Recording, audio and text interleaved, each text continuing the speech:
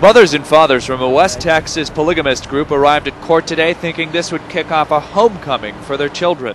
There was opportunity today for relief in this, and it was not granted. Willie Jessop, a member of the sect, expressed frustration. A lower court judge did not sign an order to bring more than 400 children currently in state custody back home. The Texas Supreme Court ruled the kids must return to their parents, saying Child Protective Services overstepped its bounds in seizing them.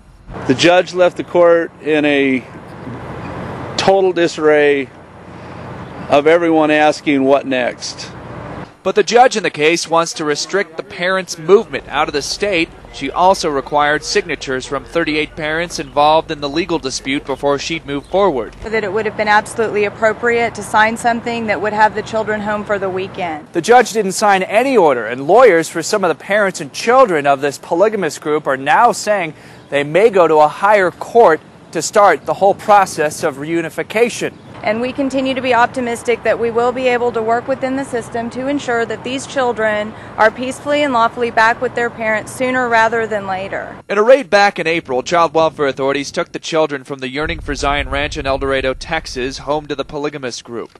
Investigators believe the group has a culture that encourages grown men to have sex with underage girls and impregnate them.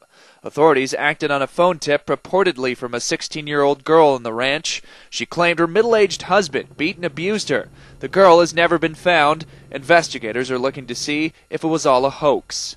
The members of the Fundamentalist Church of Jesus Christ of Latter day Saints deny the allegations. The sect broke away from the Mormon Church more than a hundred years ago when the church renounced polygamy. The children are in foster homes scattered around Texas. In some cases, siblings are hundreds of miles apart. It's now unclear when or how their journey home will begin. John Mone, The Associated Press, San Angelo, Texas.